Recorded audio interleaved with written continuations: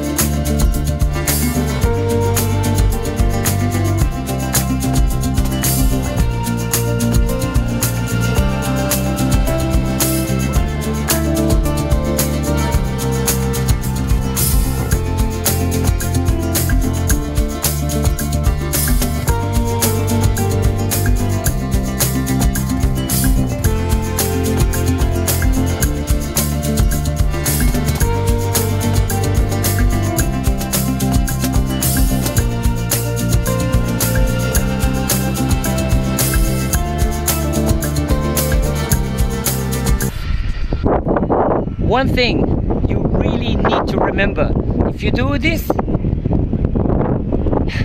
Wear sunscreen. guys, I got sunscreen in my eyes. Ah, that's very bad. Ever had that feeling? Sunscreen in your eyes. I'm crying. It's an ugly feeling, guys. It is.